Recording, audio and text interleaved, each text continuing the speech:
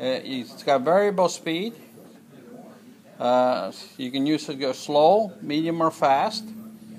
Uh, and this has got reverse on it. It's got the electric PTO. That's uh, for the uh, the uh, the lawnmower. Just turn it on and off. It's separate gas, separate oil. It's got the 18 horsepower Kawasaki engine.